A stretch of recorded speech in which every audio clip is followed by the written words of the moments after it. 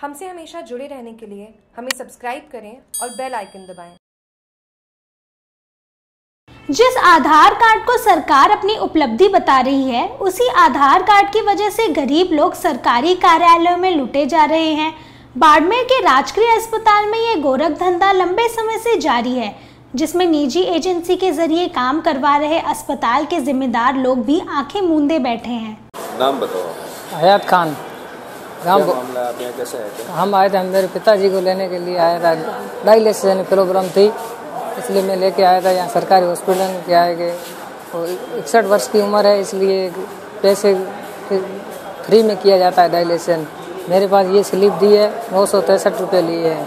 नौ सौ तिरसठ रुपये आपसे लिए गए। आपने क्या क्या डॉक्यूमेंट दिए थे? डॉक्यूमेंट आधार कार्ड है सब डॉक्यूमेंट साथ में। आधार कार्ड वगैरह दिया था आपने? तो उसके बावजूद उन्होंने अ, नहीं मानते हुए और आपसे पैसे चार्ज किए हाँ। भाई मेरे।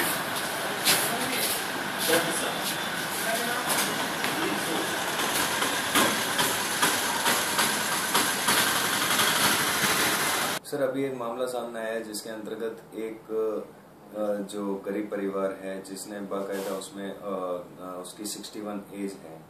उसके बावजूद भी वरिष्ठ नागरिक है और उन्होंने चार्जेस लिया है। सिक्सटी वन एज में तो चार्ज नहीं लेना चाहिए। हमने जो गवर्नमेंट की रेट शायद सिक्सटी ईयर ही है।